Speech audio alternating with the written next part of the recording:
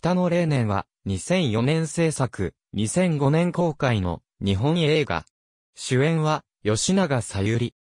明治3年5月13日に起こった交互事変に絡む処分により、明治政府により、徳島藩、淡路島から北海道静内へ移住を命じられた、稲田家と家臣の人々の物語である。明治4年、小松原志乃は、稲田家の家臣一同と共に、先見隊として、静内にいる夫、英明の元へと向かった。静内の地を開墾すれば、稲田家の領地となるという政府の言葉を信じ、一同は皆希望に満ちていた。厳しい冬に苦しむ一同に、救いの手を差し伸べたのは、アイヌのモノクテとアシリカだった。最初の冬を越え、ようやく、稲田屋当主が到着するが、廃藩置県によって、移住命令が、保護になったことだけを告げ、そのまま帰国してしまう。置き去りにされた一同は、それでも、英明の劇のもと開拓に夢を託すが、作物はなかなか根付かない。状況を打開するため札幌へと向かった英明は、消息を絶ってしまい、残された一同にも過酷な運命が待ち受けていた。本作の制作は、北海道札幌駅の駅ビル再開発事業、JR タワーステラプレイス内のシネマコンプレックス、札幌シネマフロンティアの2003年2月開業と関係している。1999年の第10回夕張国際ファンタスティック映画祭の期間中、JR 北海道の当時の社長、坂本真一が、東映常務、岡田祐介に、風切り作品を全部揃えるような映画館を作りたい。それは、外資系シネコンしか無理なのかと言った。当時建設準備中の札幌駅、JR タワーに、外資系、シネコン AMC シアターズ進出の打診が坂本にあったためで、坂本から日本の企業一社に受け取ってもらうのは心配だと言われたため、岡田は日本でも大丈夫です。私が実現可能なように努力をするから、時間をくださいと伝えた。当時は、シネコンはまだ黎明期で、松竹、東方もシネコンを開業して間がなく、東映はまだシネコンを開業していなかった。1993年のワーナーマイカルシネマズ、エビナの開業以降、AMC が南の拠点とも言うべき、福岡県福岡市のキャナルシティ博多に、初の都市型シネコン AMC キャナルシティ13を開業した際は、日本の工業会社は黒船襲来と騒いだ。札幌の場合はそれまで駅前のシネコンではなく、駅ビルのシネコン、さらに雪の多いという立地も、シネコンとしては、画期的で、岡田茂東映会長は、あんなところに、AMC に出られたら、日本の映画会社は終わりだと、大きな危機感を抱き、東映が、松竹、東方に話を持ちかけ、三社のトップ会談が何度も行われ、初めて方が三社による共同経営の劇場建設が協議された。しかし三社はそれぞれ札幌に直営館を持ち、もともとライバルとしてしのぎを削ってきた歴史があり、一緒に劇場を経営しましょうという提案は、すんなりとはまとまらなかった。紆余曲折あったが、最終的には、外資系の進出は、何としても食い止めなければならないと三社のトップが手を握り、日本映画史上、工業史で初めて、大手映画会社3社が共同経営するシネコンとして、札幌シネマフロンティアが開業した。横浜ブルク13もこの時、同時に話し合われたものが一旦頓挫して、札幌の成功で後に復活したものである。この折衝段階で、熱烈なサユリストである、坂本 JR 北海道社長が、岡田祐介に、札幌シネマフロンティアのオープンイベントに、吉永さゆりさんに来てもらえませんかと頼んだが、大女優をイベントのゲストになんかに引っ張り出せるか、と断られた。それなら、吉永さん主演で、北海道を舞台にした映画はできないですか？主要銀行が潰れるなど暗い雰囲気の北海道を元気にするような、それは北海道在会人の使命でもありますなどと頼み、それならいいでしょう。検討しますと返事され、坂本と懇意の夕張市長、中田哲春から夕張を舞台にしてもらえないかという働きかけもあり、実現したのが本作となる。タイトル命名は、岡田祐介。稲田家の家臣による、北海道開拓の話は、船山薫の、落とせに記述があり、岡田祐介が1980年代前半に映画化しようとしたことがあったが、制作費も高くなりそうでそのままにしていた。他の素材も探したが、吉永が、落とせ、石狩平野などの船山作品のファンで、以前から北海道を開拓した人々の物語を映画化したいという希望を持っていることを知る岡田は、この企画なら、吉永を主演で口説ききれるかもしれないし、開拓時代の話は、悲惨なものが多いが、今の北海道の再生の基盤になるような映画なら、北海道の財界から協力を得られるのではと考え、まず坂本に打診し、了承を得た。行艇は、プロレタリアの悲哀のようなロシア映画のイメージで、広大なゲニアを切り開く、女たちの明治時代を描こうとしてそういった映画を改めて鑑賞した。なお、本作は脚本を担当した、那須町子のオリジナル作品であるが、上記の通り船山薫の北海道開拓をモチーフにした2作品を参考にしており、本編のクレジットでも参考文献として紹介されている。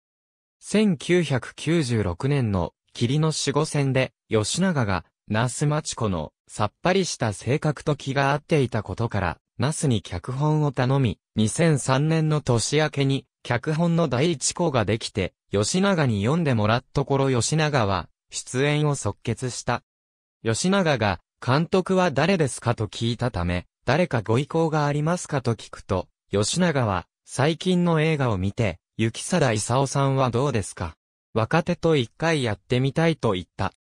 行艇はまだ、世界の中心で愛を叫ぶ撮影前で、吉永は、行艇の、ゴーや、ロックンロールミシンに感心し、新人女優になった気持ちで、ゴーのヒロイン、柴崎孝さんになったつもりでやってみたいと希望を伝えた。そこで、岡田が、行艇に引き受けてもらえるかと頼むと、行艇は、私が、吉永さんを本当に取らせてもらえるんですか？本当にご指名なんですか？私が断れる理由がないじゃないですかと了承した。行艇は監督昇進後、次々は大作を手掛け、日の出の勢いだったが、当時の日本映画の状況で、30代前半の監督が制作費15億円の対策を監督するのは珍しいケースであった。行艇はつい数年前までこんな対策を若い時に取れるなんて思いもしなかったと話した。吉永は1980年に高倉健と共演した動乱で北海道の魅力に惹かれ、動乱同様、北海道での長期にわたる撮影に意欲を見せた。岡田から送られた脚本の書稿を読んだ後、赤坂プリンスホテルへ打ち合わせに行くと、岡田と共に、吉永が同席していたことに行艇は驚いた。彼女から、ロックンロールミシンを見たことで自然を味方にできないと、この映画は作れないからあなたなら味方にできると言われた、ことで指名を、改めて快諾した。吉永主演と行艇監督、ナス脚本が決まっただけの段階で、坂本が嬉しさのあまり、札幌シネマフロンティアのグランドオープン前日の2003年3月5日、同書で坂本と吉永、中田夕張市長ら少数の出席による企画発表会見を行った。坂本は北海道全体で作る気持ちで、個人、法人を含めて賛同者を募り、物心両面で協力したいと話し、中田夕張市長は1991年の第2回、夕張国際映画祭に、ゲストとして、吉永さんを招こうとしたら、断られたんです。13年経って、今度は、ロケという形で来ていただけることになり夢のようだと、話した。吉永は、船山薫さんが書かれた、落とせや、石狩平野のような、北海道の大地にしっかり足をつけて生きる女性を、いつか演じたいと思っていた。今回は腹筋を使っての体力勝負。若くて、才能のある皇帝監督との、初めての仕事にワクワクしています。新しい演出法に触れて、今までと少し違う私が出せれば、と抱負を語った。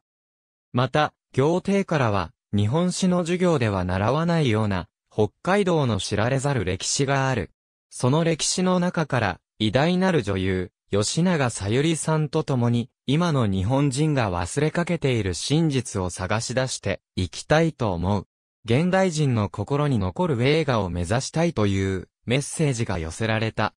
この時の発表では2003年秋に撮影を始める予定と発表したが、出演者のスケジュール調整、ロケセットの建設等が大規模で準備に難航し、撮影は2004年2月からになった。坂本の呼びかけで、堀達也北海道知事を代表幹事とする吉永の111本目の出演映画にちなむ、道内経済界、行政、各種団体トップによる前代未聞の111人の映画、北の霊年を応援する会が結成された。正式な制作発表会見は1年後の2004年2月9日に赤坂プリンスホテルで行われた。岡田は会見で20年前からこの映画の構想を温めていた。ただ、スケールの大きな話であるために、制作費が多額だし、ロケも大変なので実現までに時間がかかった。東映の来年の社運をかけて、立派な作品を世に送り出したいと抱負を語った。また渡辺健はオファーを出す前に、渡辺の方から、ラストサムライ撮影中に、吉永さんがやるようなら、何が何でも参加させてくれ。通行人でもいいから出させてくれと岡田に電話があった。渡辺はまだ大きな名声を得る前だった。北海道の開拓を劇映画で主題として取り上げたものは前例がなく、行艇は古いソ連映画などを見て広大な大地を開拓するイメージを膨らませた。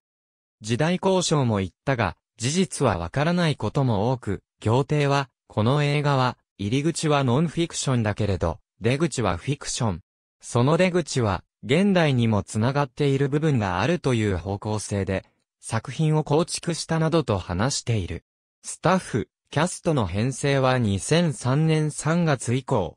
2003年夏から秋にかけてはロケ班が繰り返された。ロケの拠点を中田夕張市長や後藤健二から夕張を舞台にしてもらえないかと要望もあり、本来の舞台は、日高地方であるが、ロケの拠点を夕張に置くのは、問題ないため、メインのオープンセットは2003年11月から、夕張鹿島の2ヘクタールの広大な土地に、本建築で、屋敷や駅邸、会所、神社、日の見櫓、開拓移民小屋などのオープンセットを建設した。市街地が明治4年、明治5年、明治10年と3段階の進化を遂げるという手の込んだセットで、当時の日本映画ではないと言われるほどの本格的なロケセットであった。吉永は農作業は初体験だったため、東映東京近くの農家で農作業を手伝い経験を積んだ。また100年以上前の時代を生きた女性、死の自分の中にどう取り込むか、撮影前の2003年11月に実際に、稲田屋移住団が上陸した地点から、殿の屋敷を作った地点まで見て回った。撮影は、最初、世界の中心で、愛を叫ぶでの雪貞勲とのコンビ、篠田昇だった。世界の中心で、愛を叫ぶの撮影と、並行して、本作の2003年のロケハンや打ち合わせにも元気に参加していた。移民船の上陸シーンが撮影された釧路市、温別町自家別海岸は篠田がロケハンで見つけた特に思い入れの強い場所だった。2004年明けのメインスタッフ打ち合わせ後、体調を悪くし、交番の申し入れがあり、篠田からの推薦で、北信康に交代した。北と行艇監督は、1995年の祝い、春時監督、ラブレターで、助監督とチーフの撮影助手との関係で2ヶ月を共にした間柄で、森田義光組で東映からも信頼があり、急遽抜擢された。東映の対策としてはかなり若いスタッフが編成された。行艇監督と俳優の最初の打ち合わせで、行艇が1シーン通していきますと言ったので、吉永はワンシーン、ワンカットを多用するんだなと思ったが、そうではなかった。行艇の演出法は、ワンシーン、ワンカットを引きのショット、寄りのショット、反対の角度から違う人のアップと、だいたい5パターンくらい撮る方法であった。NG も出るので1日に、同じシーンを30回も50回も撮ることがある。どこを使われるかわからないため、役者は、どの回も芝居のボルテージを下げられなかった。また一人が NG を出したら、みんな最初からやり直しで、俳優は集中力の持続が難しい。吉永は、この演出法がすぐに理解できず、最初、何が悪かったんでしょうか？と行廷に抗議した。渡辺健は、ラストサムライも同じ撮り方で、初日に熱が出たと話していたという。日本映画は普通は事前にカット割りをしておき、1シーンの2行目までのセリフをよりで撮ったら、次は引きというように撮り、ぶつ切りのショットを後で編集し、一つのシーンに組み上げる。日中でも、零下5、6度という気候条件や、周りは鹿と熊しかいないような自然条件の中で、役者はいつ終わるか知れない、撮影の連続で、肉体も精神も、タフさが要求された。クランクインの直後には、失踪した夫を探すために幼子を背負って、猛吹雪の中を歩くシーンを撮影した。吉永はこのシーンを、中盤の大きな山場、観客の胸に迫るシーンにしたかったと位置づけ、当初覚悟で何度もテイクを重ねる、監督の粘りに応えた。また、渡辺健のアドバイスで、わら靴の中に、踏ん張りが効く、網上げのレスリングシューズを履いて臨んだ。だが、さすがに、子役は、相当ぐずった。このため、通常作品の5倍以上の38万フィート、40万フィート以上のフィルムを回し、岡田祐介と揉めた。吉永は、浦島太郎になった気分だった。今までの撮影の5倍から10倍疲れた。フィルムの使用は、戦後の日本映画最高記録でないか。多分今後も破られることもないでしょう。北信康も、この数字は何年か更新されないのでは、などと話していた。夕張は、例年よりも、積雪量が多く、冬のロケは、スタッフ、キャストとも寒さに苦しんだ。だが監督の行程は、貧しさや寒さに耐える開拓者の雰囲気が出ないとして、晴れ間が除く穏やかな天候の時にはロケを中止し、あえて気候条件が厳しい時を選んでロケを観光した。自然の持つ力にはかなわない。その空気感をフィルムに焼き付けたい。そのためには忍耐強く待つというのがその理由であった。特に過酷だったのが、シューパロコを使っての壮烈シーンで、周りには遮蔽物がない吹きさらし状態で経験したことのない寒さだったという。2004年1月5日、東映東京撮影所でメインスタッフ打ち合わせ。スタッフが吉永と初めて仕事をするものが多いため、吉永から雪の北海道よりまず東京でクランクインした方がいいのではという提案があり、2004年2月17日、東映東京のセットでクランクイン淡路の小松原家での撮影は1日、2004年2月25日から、北海道ロケが1ヶ月。夕張鹿島のオープンセットでの撮影には、キャスト、スタッフ合わせて150人超が参加した。ロケ前半は、連日の猛吹雪で撮影に難航。その後東京でのセット撮影で冬から、春の撮影は終了。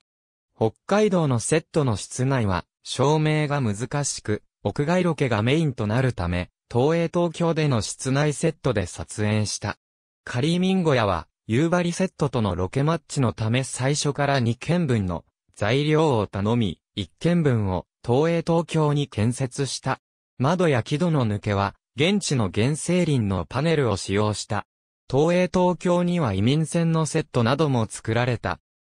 またトップシーンの淡路の盛大に咲き誇る一本の桜の木の下で演じられる人形浄瑠璃を撮りたいという行程のオーダーで、制作部が日本中の一本の桜の木を探し歩き、長野県水中のしだれ桜に決まり、しだれ桜の下にのかけ小屋を組み、2004年4月21日から23日に撮影した。ここから渡辺健参加。2004年5月17日、夕張鹿島セットから夏に2ヶ月の北海道ロケを行い、夕張のほか、実際に稲田家が移住した静内町、北海道大学農学部研究牧場の住居、旧社等の小松原牧場のオープンセット、ニーカップチョゴ寮牧場に、エドウィンダンの牧場等で撮影した。吉永は乗馬の経験があり、早稲田大学乗馬部に、半年在籍した後も馬に乗り、花の乱でも乗馬シーンを演じて、影武者で使用した馬、丸影をもらっていたがこの馬が、高齢により、牧場で余生を過ごすことになってからは、水泳に興味を持ったため乗馬から離れていたことでいざ、練習に臨むと馬が動いてくれなかった。かねてより吉永の腕を知っている乗馬を教えていた、コーチ派行艇の指示に、彼女が対応できないと取り合ってくれなかった。練習により感を取り戻していった矢先、コーチが休止、それでもやめるわけにいかず、撮影本番を迎えた、吉永の乗馬姿は、行庭園によれば、背筋がピンと立った美しく、本格的だった。ロケハンの一番のネックになっていたのが、開墾地であった。原生林を伐採させてくれる場所は、簡単にはなく、なおかつ、同じ場所で開墾までしたいという行政監督のオーダーには難航したが、浦河町の実際の伐採予定現場が借りられ、JRA が所有する広大な敷地を借りて、畑と田んぼを作り撮影。実際に畑を耕した根巻きから雑草取りなどで作物を育てたが、動物の宝庫でカラス、鹿、狐、熊と食い荒らされ、夕張のビニールハウスで育てた作物を撮影直前に運んで撮影した。稲子の大群に襲われ、見渡す限りの緑を食い尽くされ、冬枯れの体というシーンは2004年7月28から30日に撮影されたが、それまで、夕張、浦川、静内の山を毎日そう、バーナーで焼き続けた。稲子は繁殖するので、実際に野に放てないため、巨大な蚊帳の中に畑や田んぼを再現し、うん千匹の稲子を放って撮影した。稲子のよりは、スタジオ内に巨大なネットを張り撮影。稲田家の北海道第一歩となった浦幌町自圧内移民船での上陸シーンは、釧路市温別町自家別海岸。2004年8月1日、船の甲板セット、8月4日、8月10日、実刑、小物を残し、クランクアップ。エキストラは7000人に及んだ。15億円。全国の朝日放送グループが初めて映画で共同出資した。岡田祐介が当時力を入れていたデジタル配信による試写会を東京の会場から全国13カ所に配信した。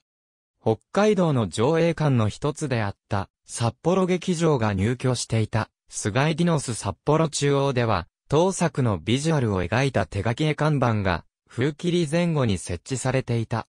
キネマ旬報ベスト1085改善誌1924から2011-650ページ。ABCDVD 北の例年発売記念イベントをレパヤで開催。吉永さゆり石原さとみ行帝君監督豊川悦氏が参加。AV ウォッチハット ABCD 北の例年のチラシ。ピア AB 立花玉木。私の10本、吉永さゆり北のカナリアたち、上。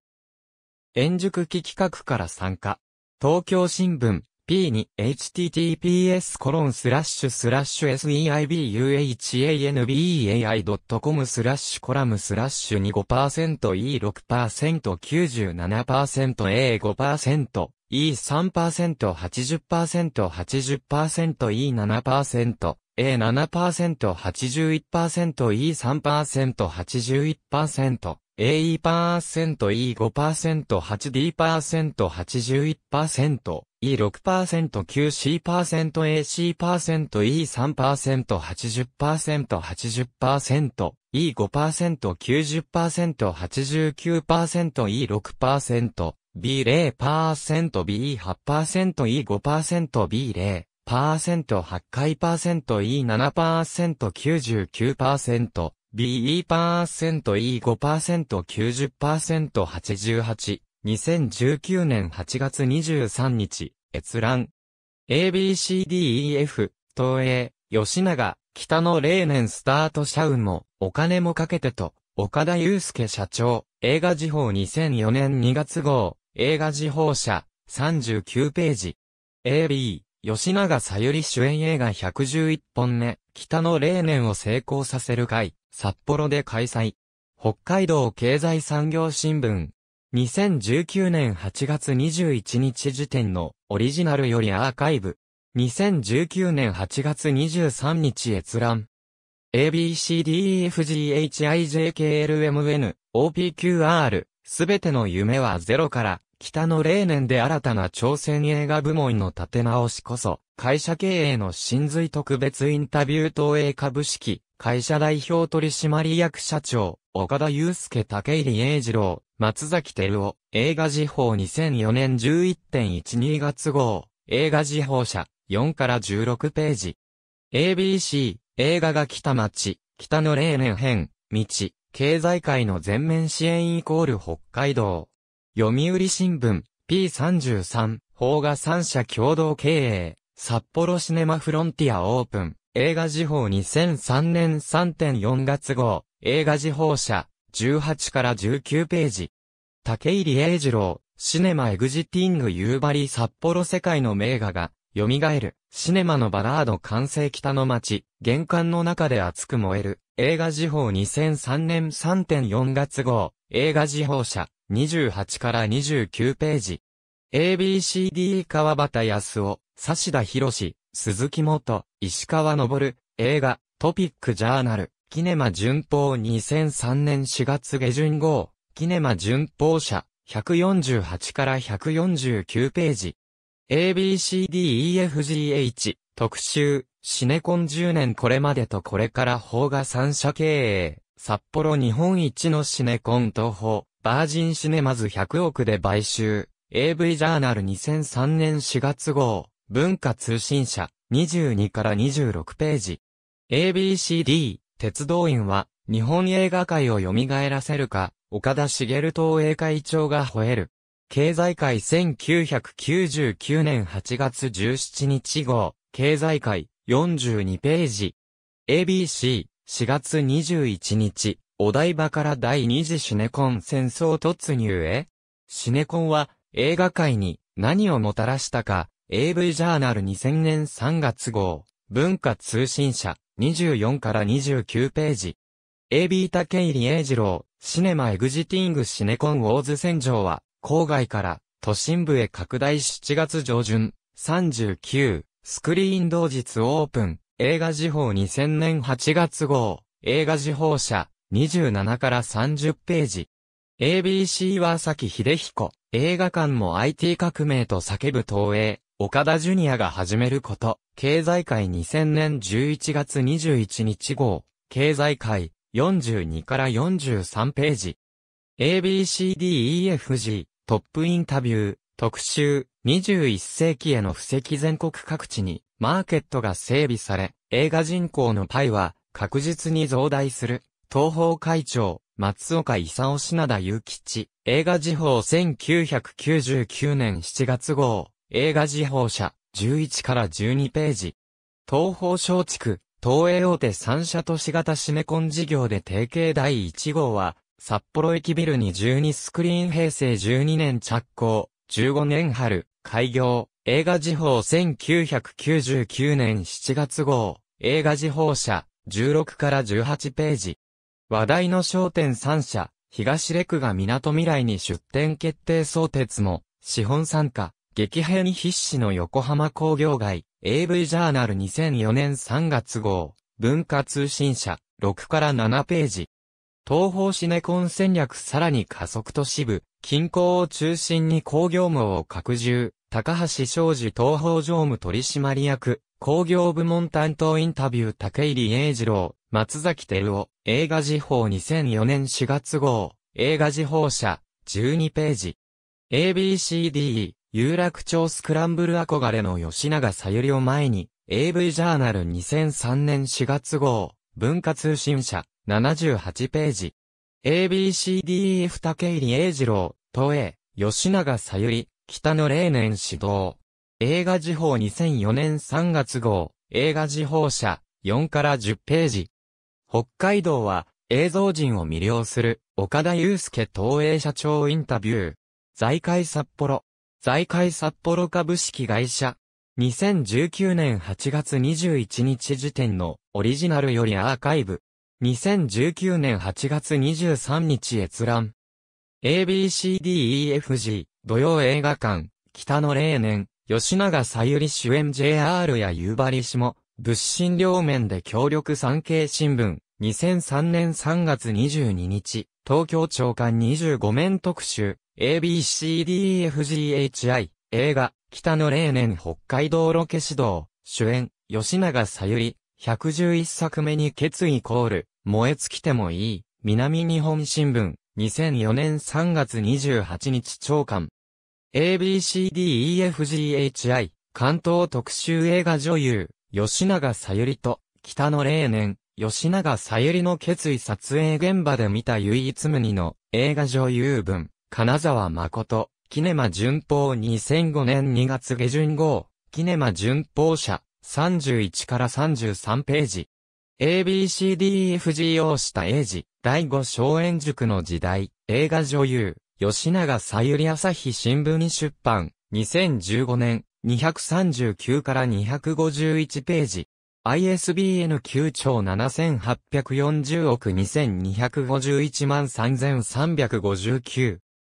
青空主義兵庫お出かけ、情報カルチャー単身神戸新聞、2005年1月15日、長官25面 ABCD、玄関の撮影、抱負は厚く吉永さゆり主演の、北の例年、大阪、朝日新聞大阪夕刊、P2、ABCDEFGHIJKLMN、大北信康、撮影報告、北の例年、映画撮影ナンバーワン63 2004年11月15日、日本映画撮影監督協会、24から27ページ。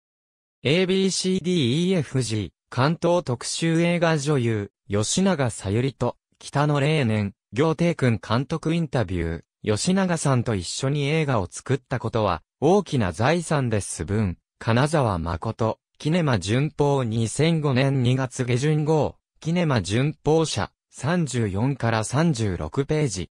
公開記念特集、映画女優吉永さゆり120本目の出演映画、北の桜森東映映画で振り返る、無尽蔵な魅力を秘めて、文、石井かな、東映キネマ順報2018年統合ボリューム、30 2018年1月15日、東映ビデオ、4ページ。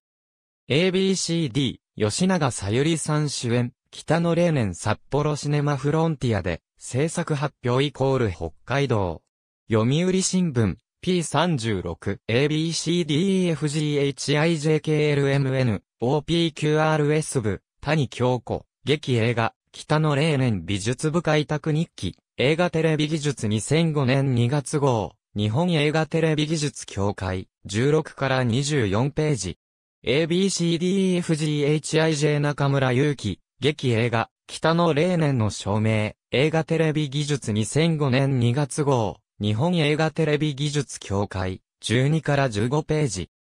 国登録有形文化財、夕張市ホームページ、映画、北の霊年、夕張旅、ライ朝日 .com、再び賑わいの山に、吉永さゆりさん、夕張支援の食事 ABCDEFG、北の霊年の次は、日本の霊年をやりましょう。新春対談、吉永さゆり VS、早坂明、週刊新潮2005年12月30日、2006年1月6日、号、新潮社、48から52ページ。ABC 川鍋州、すべての夢はゼロから始まる。映画、北の霊年エキストラ島月、リージョナルバンキング2005年11月号、第2地方銀行協会、59から63ページ。デジタル配信で映画上映、東映画、世界初の実験映画、ピンチランナーを20分デジタル上映、AV ジャーナル2000年5月号、文化通信社、54ページ。話題の商店映画界にデジタル革命は起こるのか、価格破壊による料金の値下げが絶対条件、AV ジャーナル2000年12月号、文化通信社、6ページ。東映10年で200スクリーン規模、衛星配信対応。21世紀型シネコン開発、新事業会社、ティジョイ8月設立ほか、映画時報2000年5月6号、映画時報社、4から13ページ。唯一無二に看板を作るなら、味のある手書きの看板の立役者、画工さんを探そう。ビートスタッフデザイン。2021年2月15日閲覧。ありがとうございます。